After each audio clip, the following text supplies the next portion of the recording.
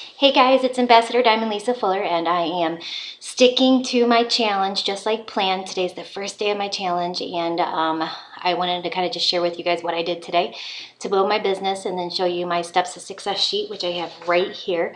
Um, and I'm going to try to see how many I can fill out this month. Um, today, end of the month, I've been on the phone a lot, um, helping people chart, helping people see what they need to get to the next level. But I also followed up with some leads. Um, I signed two distributors today.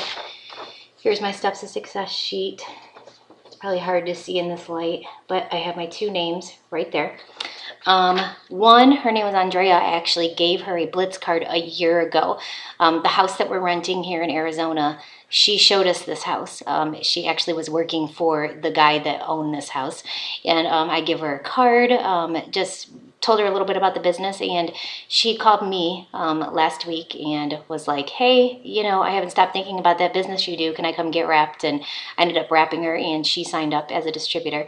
Um, the other person is actually my mom's husband. Um, it's my stepdad. He uh, finally is a believer after four years and he's ready to jump in the business. So those are the two distributors that I signed today. Um, as far as what else I did today, I actually um, talked to a lead that I followed up with through Facebook, and she is coming over tomorrow to wrap. Um, she sounds like she wants to sign up as a distributor. And then I talked to another lead that actually wants to meet up that found me um, through videos on the internet. Um, so that's kind of what I got going on right now. My goal for tomorrow is to definitely get out there and blitz at least 20 people tomorrow. That's going to be my goal.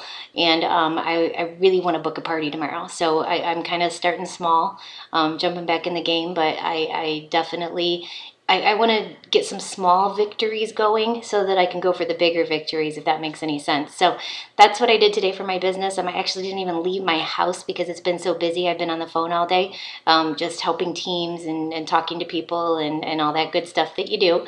Um, but I just wanted to make this quick video to let you guys know what I did today, um, how many people I filled on my sheet, and my goal actually this first week is to fill this sheet out. Um, that's really what I'm hoping to do um, eh, compared to last month where I didn't even put anything on the sheet. So with that being said, um, thanks guys, and I hope you guys take the challenge, and I will talk to you tomorrow night.